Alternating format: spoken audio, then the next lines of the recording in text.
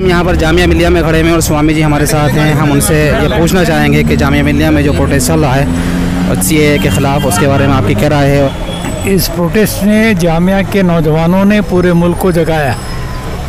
और हम इनको बहुत बहुत बधाई देना चाहते हैं। और आज इनकी वजह से पूरे देश में एक नई जागृति की लहर पैदा हुई है। जी जी।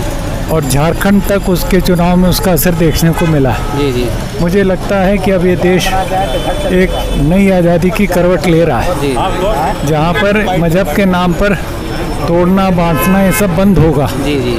और हम सब भारत के नागरिक हैं और भारत के संविधान को अपना धर्मशास्त्र मानते हैं। सी के जिसमें- बारे सी के बारे में आप क्या कहना चाहेंगे? सी ए बिल्कुल रद्द करना चाहिए। एनआरसी की कोई संभावना नहीं होनी चाहिए। और ये जो एनपीआर बोल रहे हैं वो भी ख़त्म होना चाहिए। जो। भारत में रह रहा है वो भारत का नागरिक है। और इसी में अपनी खुशी बनाओ बांटो मत तुम हमें हिंदू मुसलमान या सिख ईसाई के नाम पर। हम भारत के लोग जब तक संविधान में शुरुआत में रहेगा जी। तब तक भारत हिंदू राष्ट्र नहीं बन सकता। बहुत बहुत शुक्रिया धन्यवाद। हमारे साथ में स्वामी जी थे। ताज़ा तरीन खबरों और तजियों के लिए हमारा चैनल सब्सक्राइब करें। अगर ये वीडियो आप फेसबुक पर देख रहे हैं तो हमारा फेसबुक पेज लाइक करें। मिलते हैं अगली वीडियो बहुत बहुत शुक्रिया।